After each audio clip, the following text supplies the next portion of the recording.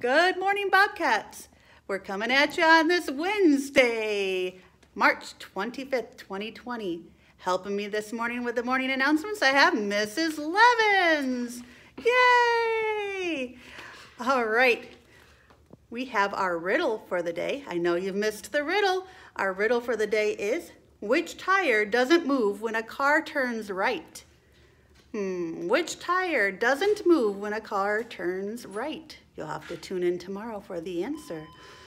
Mrs. Levins, what's our Bobcat value of the month? Honesty. Honesty. Remember, honesty, make sure your actions match your words. Make sure your actions match your words for honesty. That's and always being honest.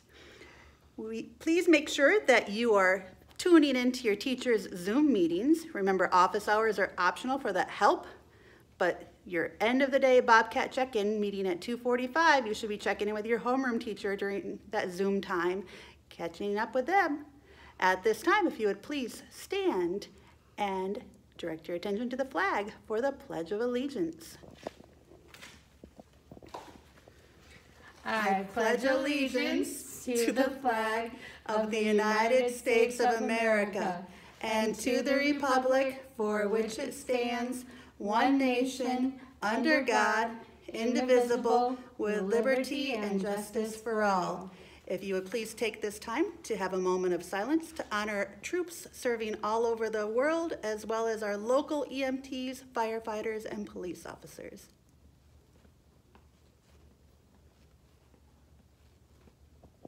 Thank you. You may have a seat. Have a great day of learning today, and we'll see you tomorrow. Bye, Bobcats. Bye-bye.